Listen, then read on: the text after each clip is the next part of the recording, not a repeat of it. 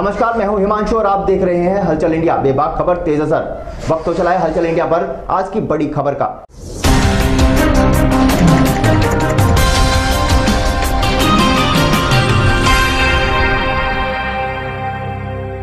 उत्तर प्रदेश के जनपद बागपत में दिन की शुरुआत हत्या की सनसनीखेज वारदात के साथ हुई। जनपद में दिन दहाड़े हत्या की सनसनीखेज वारदात सामने आई है, जहाँ बीजेपी के पूर्व जिला अध्यक्ष संजय खोकर की अज्ञात बाइक सवार बदमाशों ने उस वक्त गोलियों से भूनकर हत्या कर दी, जब पूर्व जिला अध्यक्ष संजय खोकर मॉर्निंग वॉक के लिए आए हुए थे। सुबह के वक्त हुई हत्या की इस वारदात ऐसी इलाके में सनसनी फैल गई वही घटना की सूचना लगते ही पुलिस के आला अधिकारी मैं फोर्स के घटना स्थल आरोप पहुँचे और मामले की तफ्तीश शुरू कर दी। हालाँकि अभी हत्या के कारणों का स्पष्ट पता नहीं लग पाया है। पुलिस के मुताबिक पुरानी रंजिश के चलते हत्या की आशंका जताई जा रही है। दरअसल हत्या की वारदात थाना छापरौली क्षेत्र की है, जहाँ भारतीय जनता पार्टी के पूर्व जिला अध्यक्ष संजय खोकर रोज की तरह घर से मॉर्निंग वॉक के लिए निकले थे। वही जैसे ही वह मॉर्निंग वॉक से अपने घर लौट रहे थे तो तभी बाइक पर सवार होकर आए अज्ञात कुछ बदमाशों ने उन पर ताबड़तोड़ गोलियाँ चला दी, जिसमें संजय खोकर को दो गोली लगी है और उनकी मौके पर ही मौत हो गई। घटना की सूचना मिलते ही इलाके में हड़कम मच गया और खुद एसपी एएसपी मैप फोर्स के मौके पर पहुँचे और घटना स्थल का निरीक्षण किया। फ़िलहाल हत्या के कारणों का अभी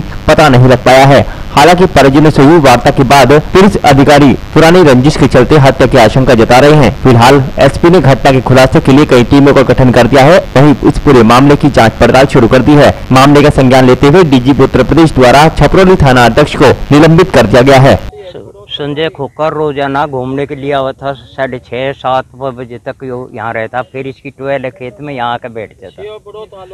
यहाँ से बैठने के बाद में फिर वो अपने घर चल देता। और आज क्या हुआ फिर? आज का नहीं पता ही हमें क्या है क्या देखा आपने? यहाँ तो वो डेड बॉडी मिली उसकी देखी। हाँ। संजय खोकर रोज़ाना की तरफ़ मॉर्निंग वॉक पे आए थे। तो आज सवेरे कुछ लोगों ने उनकी गोली मार करके हत्या कर दी। हम लोग यहाँ मौके पर हैं। प्रथम दृष्टया पूछताछ में रिंसन मामला प्रकाश में आया है। और वैसे तहरीर भी नहीं दी गई है। घटना के अनावरण के लिए टीमें लगा दी गई हैं। सारी टीमें अपना काम कर रही हैं।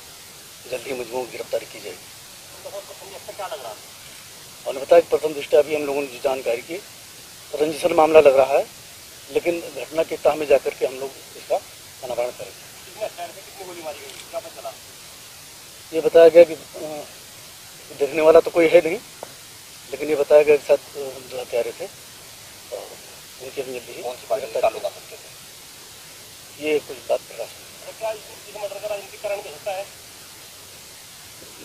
इस बारे में हम लोग घटना के खुलासे के लिए प्रयास कर रहे हैं।